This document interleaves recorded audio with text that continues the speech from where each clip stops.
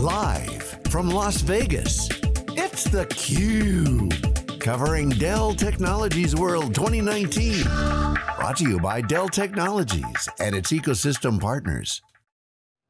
Okay, welcome back everyone. It's theCUBE's live coverage here in Las Vegas, day three as we wind down three days of, of deep coverage, two sets, a lot of content flowing on siliconangle.com, thecube.net. I'm John Furrier, Dave Vellante.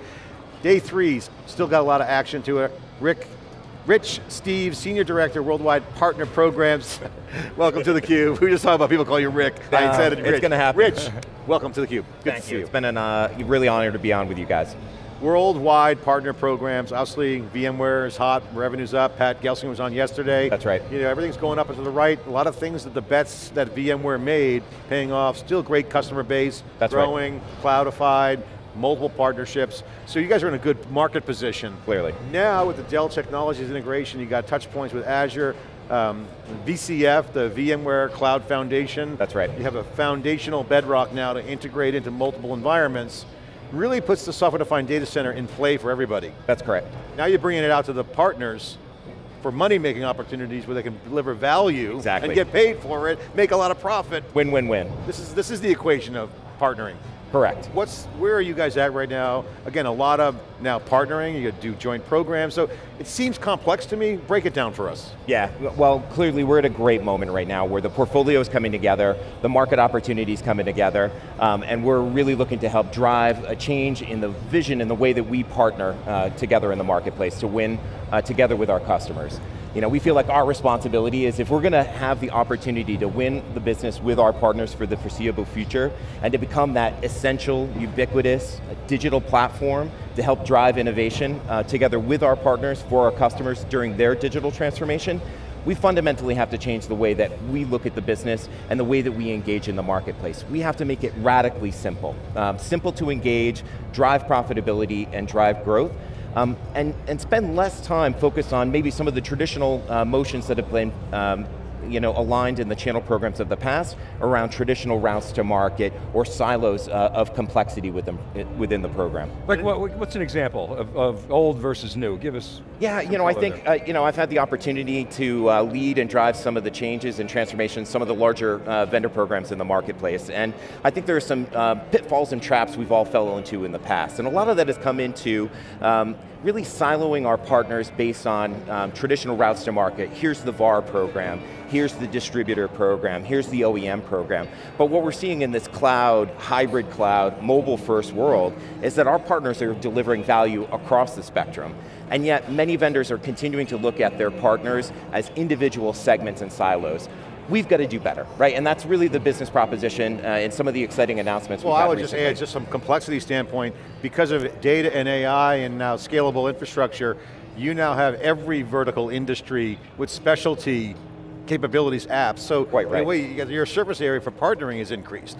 So not only do you have to simplify the programs, That's right. you're at a bigger landscape to take territory on. Clearly, you know, as we look at building on uh, the foundation that we've built through the compute layer and vSphere and the ecosystem of incredibly valuable partnerships that we've built, as we take that across and you know, hyper focus on accelerating the cloud journey, but also transforming networking and security, or also in, you know, empowering digital workspace, we've got to look at that broad base of, of partners um, and how they're delivering value to their customers So what is the segmentation? Yeah. If it's not, you know, by the old traditional buckets. What's, what's the, what are the new buckets or seams, really? Yeah, no, it's a, it's a great question. I think we're, we're coming to uh, the market with a, a simpler proposition that says we want to offer our partners greater flexibility and choice to choose the business model that makes sense for how they want to go to market to solve their customers' most pressing IT needs and priorities. So whether I'm a, a reseller or a cloud service provider or an OEM, I want to have one engagement model, a consistent experience as I engage with VMware,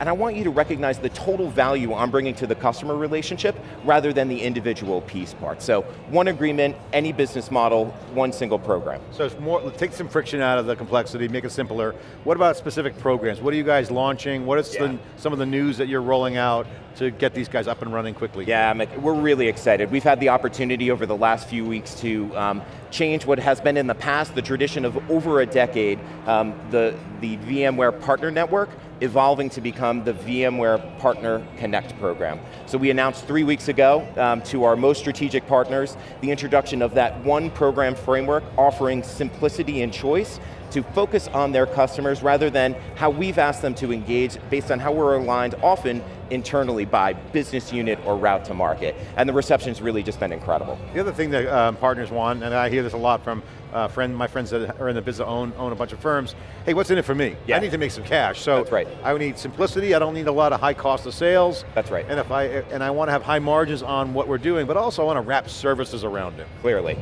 How are you guys helping that scenario? Yeah, really in multiple ways. I think for, for VMware, as we look at the opportunity, and you know, I know you guys had a chance to catch up with Pat, and we've got some really bold statements of where we want to grow the business in the coming years together with our partners. I mean, it's a pretty powerful position to say, we want to double the business together with you uh, in the next three to five years. We want to go from 5% of revenue delivered through SaaS and subscription to 20% together with our partners. And that's going to come through a vibrant and committed partner ecosystem. And that vibrancy as we go forward is really going to be in the way that partners differentiate based on their skill sets and capabilities, rather than um, program tiers, names, and brands. So I'll, I'll give you an example. We've had the opportunity in this last year to introduce our master services competencies. Really industry best of breed um, recognition of where partners are unlocking value for their customers, right? So whether they're driving data center virtualization, network virtualization, or uh, desktop and mobility, we now have the ability to say to our field, to our services organization, and most importantly to customers, here is the partner that is going to drive and deliver on the transformation through, for the partner, margin-rich services opportunities. And again, you know, in, in a lot of these conversations uh, with our partners, as they're making that change and, and transition, many of them from traditional resale business models to cloud, a lot of the services opportunity is really delivering uh, most so, of the profitability. So part of that transition, uh, you just mentioned, is it's quadrupling the subscription component. Correct. How are you dealing with the the obvious challenge of how you compensate for that. Um, Yeah. What a lot of what a lot of SaaS companies will do is say, yeah, yeah, SaaS, pay by the drink, and it's like, but you got to right. sign up for three years.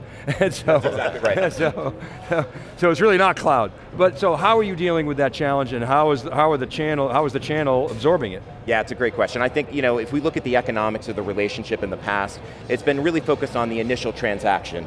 But that transaction in the cloud world, it, it, it means it is an important milestone along the customer journey, but it's only the initial step, right? In this try, buy, proof of concept life cycle, we've got to do a better job of taking our investment envelope and wallet and spreading that across the customer journey, looking at monthly recurring revenue, looking at the ways that our, our partners are unlocking value and driving consumption. So moving it from the initial uh, transaction to deployment, consumption, and expand opportunities with our customers, it's going to add tremendous value to the equation. So you got a new playbook. Things are changing. That's right. How you got here is not how you're going to move forward. Whole new Clearly. ball game. What kinds of mechanisms are you guys going to put in place? Because you know, you guys had, you know, Trennel has tried and true programs, soft dollars, training. You got to get the word out. That's right. You got to watch the journey, so you got to instrument that. That's right. What are some of the things you guys are doing to, to be new and be fast and be relevant? No, it's a great question. I mean, a lot of it comes down to the evangelism, and, and I'd say, frankly, doing a better job of listening to our partners. So, we've had the advantage through VMware Partner Connect, of through our partner advisory boards and councils, doing the listening along the way to say that this is a program that not only is VMware building, but this is the co-investment and co-building together with our partners. So, from inception uh, to design and concept, and ultimately to the announcement and rollout, we've had our partners, you know, hip to hip with us in this rollout.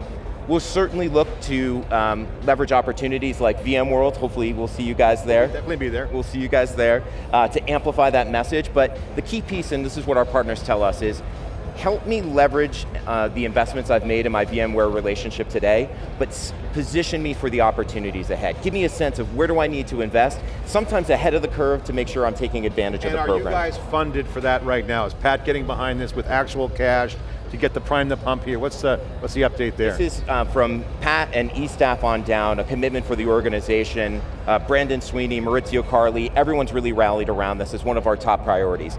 You know, Pat wants to ensure that we've got that vibrant, committed partner ecosystem that is bringing incremental value to our customer relationships, and we're putting in the money uh, behind the, the You commitment. got to get the community action going, got to get some content. doing a great job right here. Qu question on the customer piece, I want to just yeah. shift gears because at the end of the day, you're it's an indirect channel ultimately for VMware, but That's right. you're going to get deep in and enable your partners to be successful. They then have to think about your customer too, their customer, Correct. the joint customer. How has that world changed? As we were talking before we came on camera that with the um, VMware Cloud Foundation and all the now bundling that's going on and all the integration, you got tight relationship with Dell Technologies as well as other partners. There's a lot of cross cross-wired programs. That's right. So who gets credit for what? So I, there's some complexity there, but ultimately it's an opportunity for the partner, your yeah. customers, and then their customer, to actually be a cloud service provider. That's right. A whole new generation take away the system integration challenges that Correct. customers want to get rid of. That's right. Yeah, I mean for us, I, I think it really comes down to being disruptive by being radically simple, right? Really boiling it down, and you talk about the, the relationship, there's some great announcements this week around the Dell Technologies Partner Program, uh, change and evolution, and what of our partners, as well as our customers, frankly, have been asking us is, make it easier for us to do business across the full Dell Technologies family, right? All of the strategically aligned businesses, so whether you look at our VMware Cloud on um, you know, Dell EMC, VxRail, on any number of the engineered solutions that we're bringing to market, it's about adding value to the customer, simplifying the engagement, and really, again, driving the profitability for our partners. I think being agile, Rich, is going to be key for success for you, and, and making sure that it's funded and that the money's going into the partners. That's right. Um, in, the, in the gas tank to get them go faster. Clearly, and we feel like we have one of the richest uh, programs in the industry that's really driving incremental value for our partners. And I think what you'll see us do is, again, a better job of differentiating the partners that are um, certainly co-investing in VMware, but most importantly, and this is what we hear from our customers, is invest in the partners that have demonstrated the ability to unlock value uh, in those well, engagements. Well, thanks for sharing the insight. We love this topic. I know it's kind of like a channel thing, but it's becoming a very key part for creating value. That's right. And also delivering a simple solution for customers. Um, give a quick plug for what's going on at VMware. Also, you mentioned VMworld. That's right. What, when, when, how do you guys run your partner programs, events? What's on the What's on the schedule? Take a quick minute to give a quick plug. Yeah, we've got a few opportunities ahead of us. Um, we're really excited to continue the success around our VMware Empower events, where we bring both sales and technical um, and, um, enablement conversations to our partners. Certainly VMworld to be able to. What is that event? The one? Yeah, Empower coming up in Lisbon. Um, so really excited uh, towards the end of May uh, VMworld uh, in the US as well as in EMEA. Um, and what co-locate an event within VMworld? Yes, we also do our distribution advisory board, our partner advisory boards, trying to add as much value, but also, again, do a good job of listening to our partners. Great. Rich, thanks for coming on, appreciate it. We'll be following all, we'll be following the money. And that's at the end of the day, success is where people exchange the value. You guys doing a great job. We're bringing you all the CUBE content here. Day three, wall-to-wall -wall coverage. I'm Trevor Dave Vellante. Stay with us for more after this short break.